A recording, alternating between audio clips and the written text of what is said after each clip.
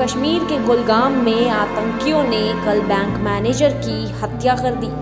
Manager Vijay Kumar का शव आज उनके पैतृक गाँव हनुमानगढ़ के नोहरा के भगवान गाँव पहुँचा है। एंबुलेंस से शव पहुँचते ही पूरा गाँव गमगीन हो गया।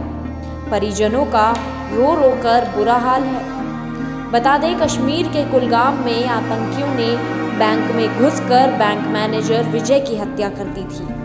कुलगाम में आतंकियों ने दिन दहाड़े बैंक मैनेजर विजय कुमार को बैंक के अंदर घुसकर गोली मार दी थी। इस पूरी घटना का सीसीटीवी फुटेज भी सामने आया है।